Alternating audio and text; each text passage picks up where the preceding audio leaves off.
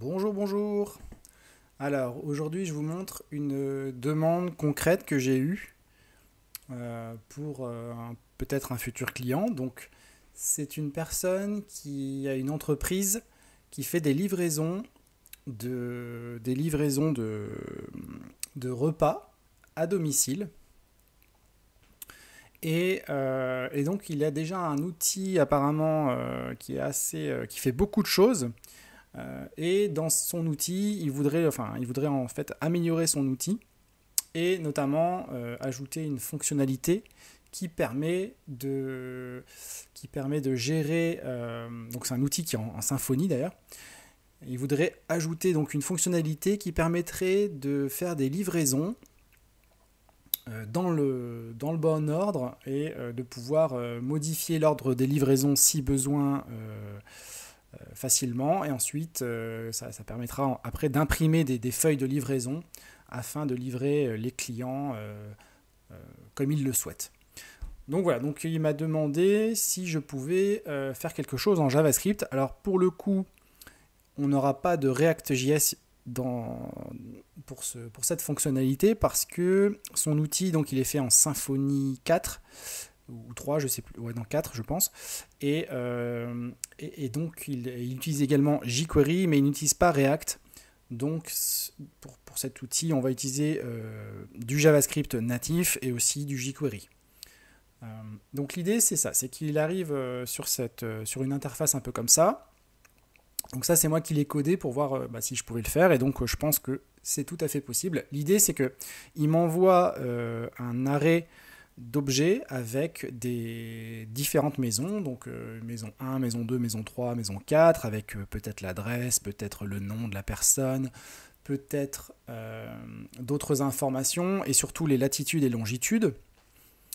Et à partir de là, on, on, doit pouvoir modifier, donc là il y a un itinéraire qui se fait automatiquement. Donc là par exemple, j'ai mis exprès dans, dans le mauvais ordre, j'ai mis que la première maison c'est la maison 3, ensuite la maison 1, la maison 2, la maison 5 et la maison 4. Euh, j'ai mis euh, les noms des maisons euh, de cette façon, comme ça je, peux me souvenir que la maison 1 elle, va en premier, la, deuxième, etc. Mais, mais bon, forcément il y, aura des noms différents, parce que ça viendra de la base de données. Donc là par exemple, voilà, on part de ce départ ici, et on va aller à la première maison qui est la maison 3, donc on va aller ici. Et ensuite, on va aller à la maison 1, qui est ici, puis la maison 2, puis après, on va aller à la maison 5, donc en respectant l'ordre qui est indiqué hein, sur la droite, puis ensuite la maison 4, et après, on rentre. Donc, bien sûr, c'est pas, pas optimisé. Donc, il faut savoir que déjà, euh, petite information, euh, Google, enfin, via l'API, il y a moyen d'avoir une, d'avoir une, comment dire, une optimisation toute faite de base mais, euh, mais voilà, la personne qui m'a demandé, elle voudrait qu'on le fasse manuellement. Et, euh, donc là, j'ai suivi à la, lettre ce qu'on m'a demandé. Euh, et, bref. Et donc voilà. Donc si on veut ensuite modifier l'ordre, admettons que par exemple, au lieu d'aller à la maison 3, on veut d'abord aller à la maison 1 qui est, là. Et eh ben on peut prendre cette maison-là et vous voyez, on, on peut la glisser, déposer quelque part. Donc on va la mettre en premier.